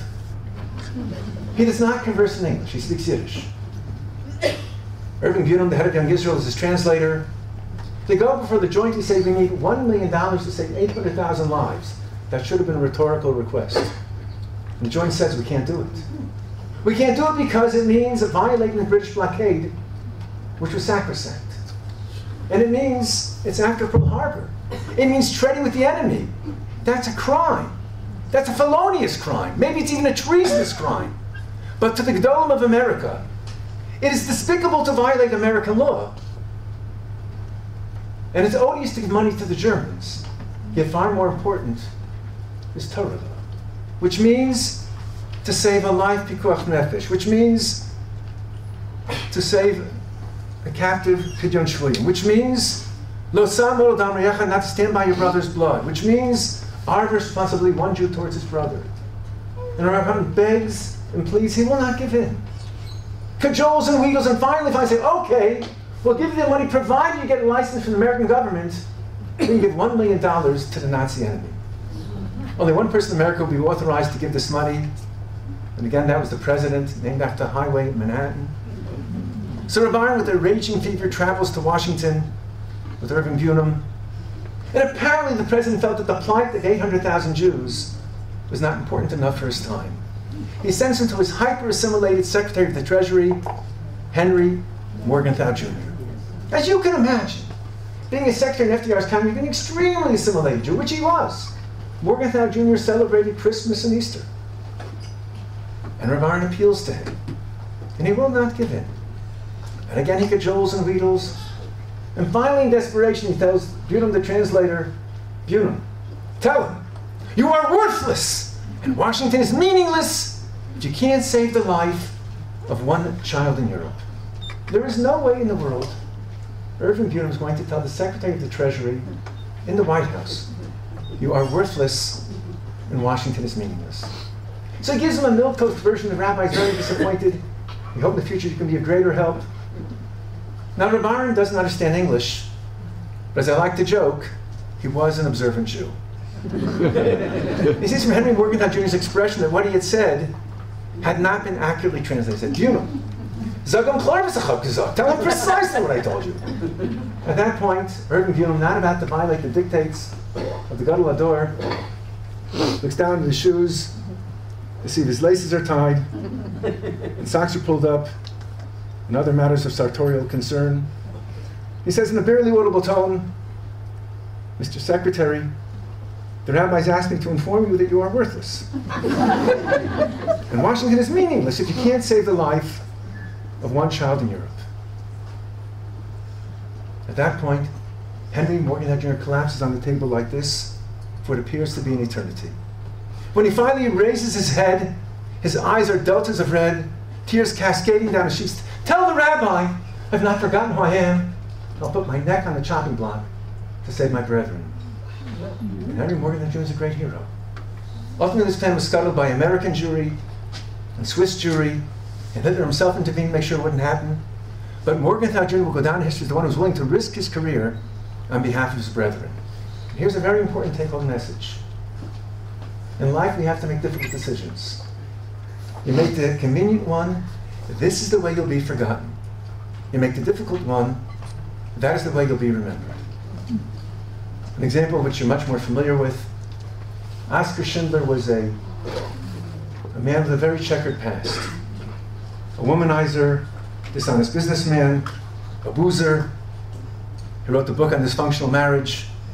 But that critical time saved nearly 1,200 Jews. And forever after, the name Schindler has become synonymous with heroism, bravery, courage, self-sacrifice, synonymous. Like Vaseline means petroleum jelly, and Kleenex means tissues, and Q-tips means cotton swabs, and Plastel means Band-Aid. Schindler means self-sacrifice. He changed his name. We can too. Leopold Pfefferberg, I'm a I'm a senior docent in Yad Vashem. And when I give a tour in Yad Vashem, I point out Schindler's List, not the film, the list. Number 173 is Leopold Pfefferberg. He's one of Schindler's Yidden.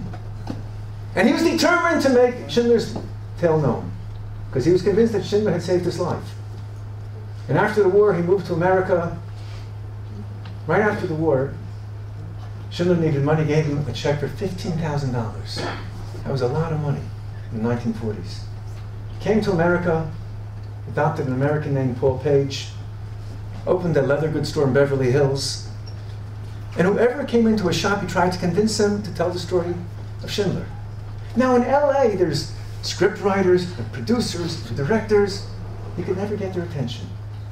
One day, an Australian novelist, Thomas Keneally, walked in innocently to buy a leather briefcase, and he couldn't get his credit card to work. Till he could get Sydney on the phone, it took half an hour. Spielberg unspooled and told him the story of Schindler. He was intrigued. He postponed his flight for one day, spent the night at Pfefferberg's house, resulting in him writing Schindler's List. Then Pfefferberg, through one of his customers, got the phone number of Steven Spielberg, famous film producer. And every week he called him up and hocked him a chainik. You gotta make a film about Schindler. Spielberg just finished producing E.T., in the middle of producing Jurassic Park. And Pfefferberg said to him, Stop spieling with the dinosaurs. Stop playing with dinosaurs. Make a film about Schindler, and I guarantee you an Oscar for Oscar. OSCAR for OSCAR. Oh, and as you know, Schindler's List won seven Oscars, including Best Picture. Nearly eight decades later, after the Holocaust, the story of children is the only story left to be told first person. And if you don't have a psychological background, the story of children has to be the most insightful into the human condition. So how do we tell this sort of tale? I believe, and I'm really trying to be quick because uh, I feel for you. If I felt enough for you, I would stop. But. the story is similar like the story they tell about the Baal Shem. I was told that the Baal Shem was able to go to a particular spot in the forest, recite recite a specific formula, and an angel appeared. One generation later, ah, yeah, yeah, yeah, yeah. They knew where that spot in the forest was, but they didn't know the formula. And yet, a generation after that, they didn't know the specific spot, nor did know the formula.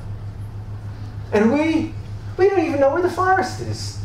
So what do we have, the grandeur and sublimity of Baal Shem Tov? We have everything, because we know the story, and the story brings us back. I once told a group of elementary school children to try and explain to them what it was to me to lose one and a half million children under the age of 12, go home and make one and a half million X's. Maybe then you can relate to just the number. Because the crime is infinite and the personal and familial tragedy incomprehensible. We have no other choice but to try and explain what happened in a medium that the brain can digest. So after the Anschluss, after Austria was had a referendum and they voted to be under Nazi dominion, and then Austrian Jewry was subjected to the Nazis, and all these pictures and films and stills were sent to the West. America, particularly even the cabinet, were concerned about the plight of one Austrian Jew. His name was? Sigmund Freud. Correct. And the way the mind works, which is kind of funny to say about Freud, but the way the mind works, it's easy to think about 1 over 180,000. What's the most famous story of the Holocaust? Correct, Anne Frank. It's easy to think about Anne Frank over 6 million. It's easy to think of 6 million paper clips, paper clips over 6 million souls. That's the way the mind works. But the fact of the matter is that Anne Frank's diary is not a reflective story. She wasn't in the ghettos, wasn't in the camps, she had a roof over her head, a modicum of food, she was with her family. But because it's a story, it's easier to relate. And perhaps also, the very thought of relating to children being murdered is just a tad too difficult. Too painful to think about mass executions. So she's been designated as the child representative of the Holocaust. Uh. I've read through many diaries and I'm trying to just connect to our theme of tonight. And they all share the children's resistant resilience and their willingness to extend themselves on behalf of others. Despite the Nazi nightmare, they did all that they could to rise above their own terror and ease the suffering of those around them. Child after child tells how they tried to save the lives of others. And these diaries tell what it's like for a child to live every day knowing this could very well be the last day of their lives. Portray what it's like to live under constant Gestapo harassment, the grind of searching for the most basic necessities, the terracing friends and relatives sent to their deaths. The children were the smugglers, the snatchers, climbing over the walls or under the fences, and coming back with a scrap of carrot, a piece of potato which they had bartered, bartered for. And when they came back, what did they do with this little scrap of food for which they risked their lives? They would give it to a pregnant woman or an elderly rabbi. Those were the smugglers. Hmm. And I'm going to read to you a very brief selection from the diary of seven-year-old Ephraim Steckler. By far not the most dramatic or horrifying, doesn't depict the Nazi atrocities. It's the story of a boy forced to live in a cupboard. Hideous solitary confinement. He was unable even to stand up. The Polish lady that housed him barely kept him alive and certainly did not show him any compassion. His feet were twisted backwards. It took months of medical treatment before he was able to learn to walk at the age of seven. And here are his words, that of a seven-year-old. The Polish lady flogged me with her husband's belt, saying, I'll drown you in the well this very day. She then feared that the Germans would find me and would kill her as well as me. She decided to break my heart, that she could tell the Germans that she had found me dead. But to my luck, she did not succeed, for I was a mere child and couldn't understand what death was, so I wasn't afraid of it. The children did not become the, the mindless automatons that the Germans had devised all, German, all Jews to become. Instead, they become irreparably damaged under such, we would imagine, under such conditions, they continued to thrive as youngsters. Dr. Yafa Eliach reports that in the Radin ghetto, children played with dolls made of rags, engaged in make-believe games surrounding burying the dead, smuggling food, instructing babies not to cry in the presence of Germans. Psychiatrist Viktor Frankl wrote about his experiences in concentration camp and the others who tried to maintain their mental health. Their success was consequential to a spirit of resistance and focusing on servicing others. Those who survived psychologically intact had to believe that what they did on a daily basis could make the difference. So the children kept diaries, spelled, hoped that their testimony would live for them afterward. And as we saw tonight, the testimonies of humankind that this would never happen again. The diaries reveal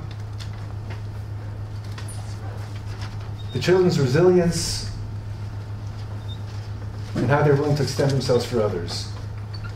And reading through the diaries, then we realize that children at the end were less naive and trusting than they were in the beginning, but they still espoused the same values they started off with.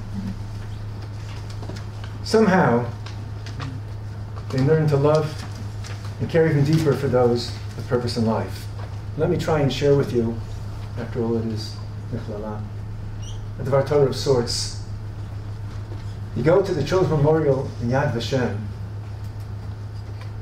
I'm sure most of you have seen it. Thanks to the genius of the architect, it is as black as dark can be.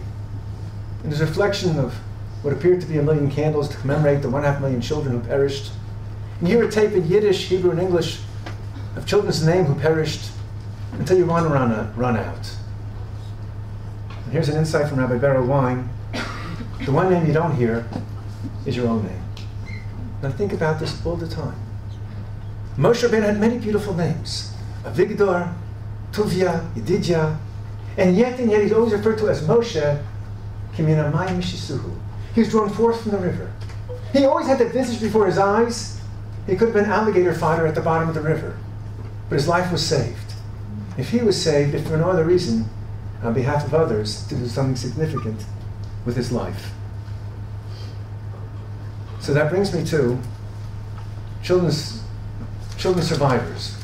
Because when the war was over, understandably, those that were saved and those that survived wanted to tell their story and how they had survived and how they'd been betrayed. But those who didn't tell the story and basically never have, were the children. They couldn't tell it then, and it's almost gone untold. So this became my life's mission. And a good number of years ago, I decided to travel the world and gather the stories of children in a fight against time.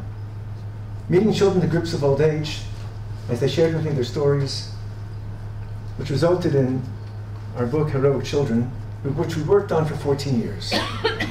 we made, finally, after 14 years, we made a very draconian deadline to meet and publish it. And we met the deadline, but we made one little mistake, which was not so insignificant. We're about to go to press, and we didn't yet have a cover. Now, cover is a very important component of a book. I always say, those who say they don't judge a book by its cover, I know they never tried to sell a book. so we had to find a cover in no time. So I put my team on it. That means my kids. and going through archives, and we came across this picture. I don't know if you can see it from the distance. It's a picture that was shot the day that Auschwitz was liberated 75 years ago. And the picture is sepia, and it's a large picture. Many, many children. We zoomed in, and the copyright holder is the United States Holocaust Memorial Museum in Washington. Now, to use a picture for a cover, you need permission. So I sent them a request. You have to sign an affidavit, you're not going to make any changes. And I wrote them like this change, and this change, and that change, and this change, and this change, and that change, and this change. And the next day they said, you can have it. But till the picture will be changed from low resolution to high resolution will take three weeks. Three weeks. I don't think I had three days. But everyone knows, uh, yeah, yeah, yeah, yeah. To turn a picture from high res to low res takes 10 seconds, not three weeks. But the United States Holocaust Memorial Museum is a large bureaucracy, over 300 employees. So you'll pardon me for being an Israeli. I thought what was indicated here was protexia.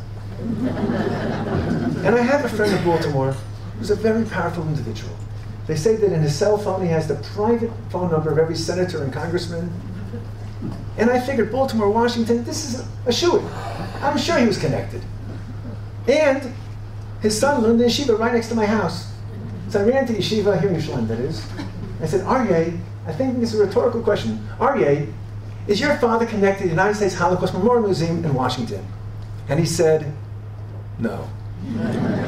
Shrek and a half. Disenchanted, crestfallen, melancholy.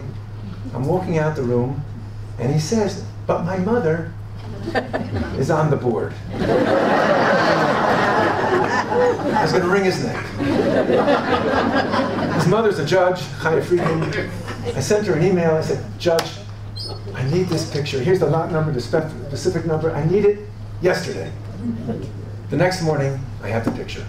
Wow. But then I thought, if you look at the picture, what I wanted to do, my methodology of touring, of guiding in Yad Vashem is always to highlight the individual. How can one relate? The way Yad Vashem was created by the curators was to be guided. And at any time, there are dozens of tour guides, it fits my brain, unspooling data that the head cannot absorb. I'm always telling a story so we can better connect, a personal story. So I wanted to highlight one child. Now I figured this required a little permission because that's changing a picture. I was going to color the rest of the sepia, I was going to highlight the individual, which is my methodology. So once again, I sent her, I said, I need your help desperately. I got to get permission to color one child. And she writes back, she's convening a murder trial, and she has no time. I said, Chaya, this is killing me. and I prevailed upon her, and she writes me back, yay, yay, nay, nay. I made the request, I cannot assure you they're going to agree. And I'm thinking to myself, come on, this is the Holocaust. It's apple pie, it's mom, it's the flag. They're not going to say no. And that day, I'll use the technical term, that night, at 10 o'clock, we had a press queue in the largest press in Israel, arguably the largest press in the Middle East. Three hours for press queue, or to be accurate, two hours and 48 minutes. I get an email from the head archivist, United States Holocaust Memorial Museum, and she writes, Dear Rabbi Teller, we regret to inform you, you may not use the picture. If you wish to use the picture in its pristine state without any alterations, you may. But once you make the slightest change, you don't have permission. And you want to highlight this boy. He recently spoke out. He's very sensitive, and our legal department said unequivocally, you may not use the picture. Shrek and a half. I got the plates are burnt. They're on the drums. At 10 o'clock, I'm going to have 10,000 covers. But I'm not such a pushover, a bit of a fighter. I write her back, please send me his name and his phone number. I wish to speak with him. One hour and 36 minutes before press cue, she writes back, we don't know his name. We don't even know where he lives. I said, but, but, but, you just told me that he sensibly spoke out. So 42 minutes before press cue, press, uh, for press cue, she sends me an online clipping of this picture.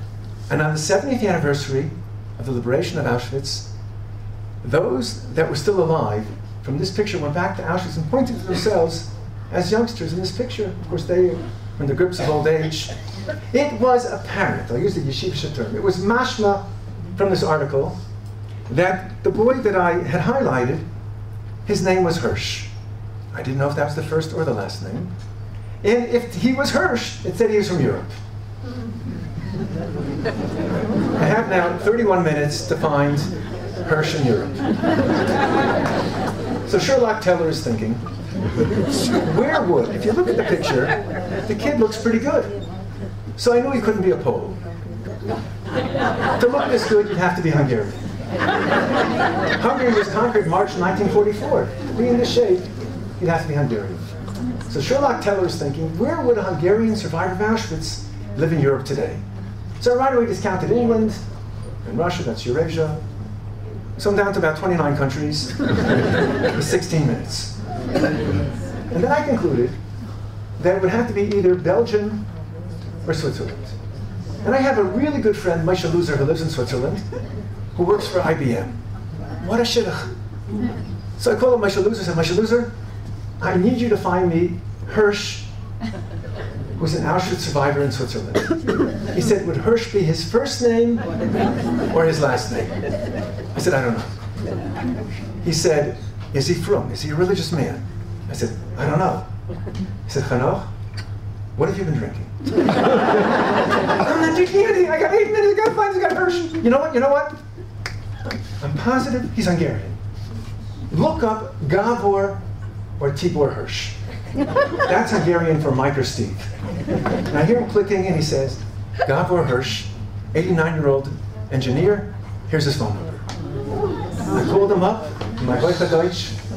I reached him, I asked him permission, he gave me permission. I fired off an email to the United States Holocaust Memorial Museum, and I said, I have permission.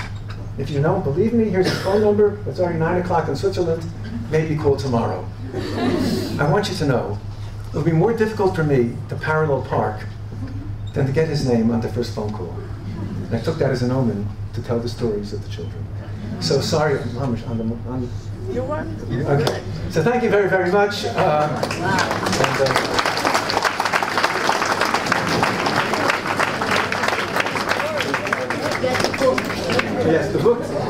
books are, I have my book next door. I think you'll find it enriching. I know I will. And uh, I have some other titles also. July 2, the third one's free. July 4, 2 free. July 6, I think. Thank you, and let us hear it for the amazing, you know, Martana Thank you so much. Okay, oh, you're here. All right, so we really planned this evening, we worked very hard, Deanie especially, Deanie is here somewhere. Sarah for Deanie, yeah. And every little detail, and their to-do lists and their folders, and, and then all of a sudden, there's serendipity also. We get an email from Mr. W. David, David Ben Reuben, a professional songwriter and singer, who saw our ad and said, I have a song for you. And so in the last moment, we have added him to our agenda, this beautiful song. And I give you uh, David Ben Reuben, he is, does one-man shows as well about Aliyah, about Zionism, about the Holocaust. Holocaust, Aliyah, yes, and William, just William. Okay, so we have this song, and then we have one more song, and then we'll have our, our evening will be done. Here, David Ben Reuben. Are you good with this? Thank you very much. Okay, this song uh, is part of my show called Beacons in the Dark about the rescuers of the Holocaust. And it's one of my six one-man shows. And this song was written uh, quite a few years ago when I visited the Children's Pavilion in at, uh, Vashem. And this moved me to write a song of uh, tribute to the poor little children who didn't make it from the, the Holocaust. And the song is called All the Little Children.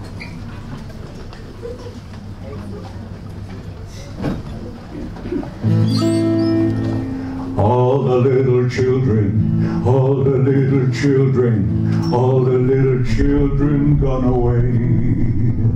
Little Jewish children, little Jewish children, not allowed to live another day. All the little children, all the little children, all the little children gone away.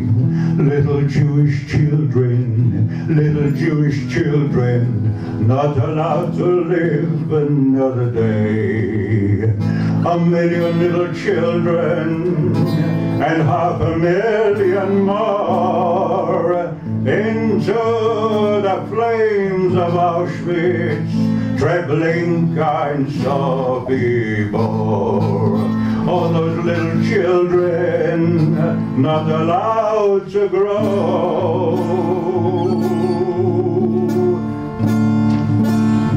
Decided to deny the right to life by the monsters of the Reich.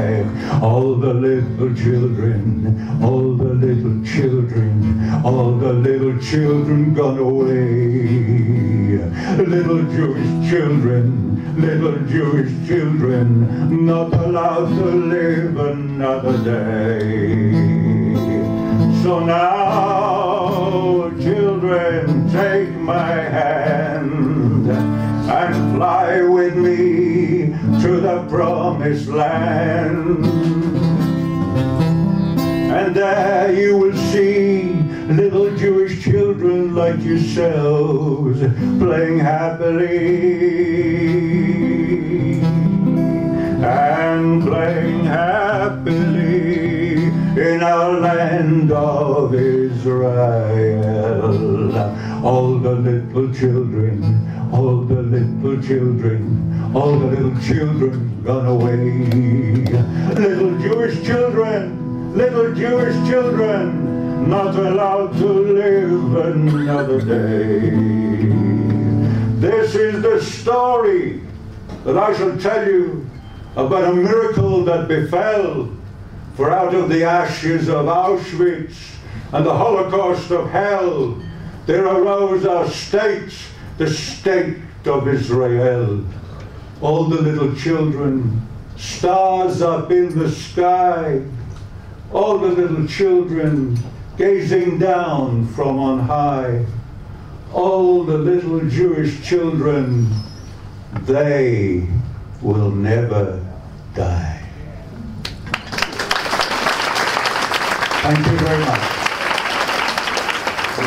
It's a honor to be here at this wonderful and amazing and informative evening. Thank you so much. Thank you. I- It was very well done. I have no words.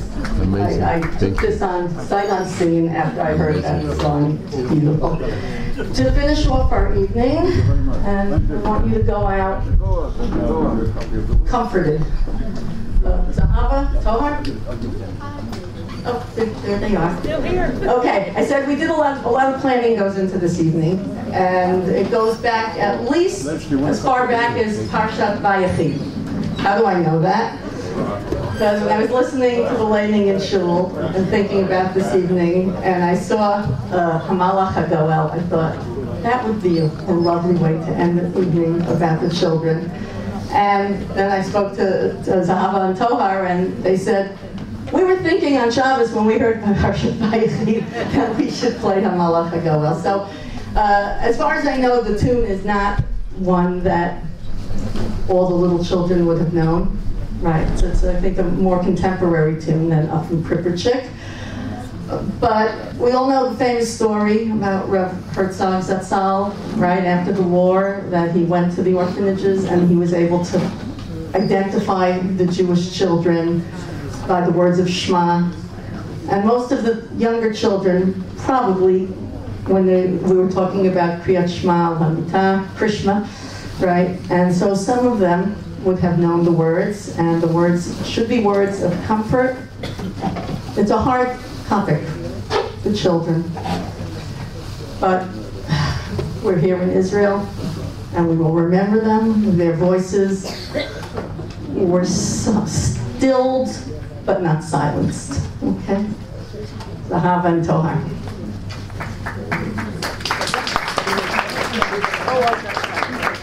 Okay, we'll need the lights down again. Lights? Oh,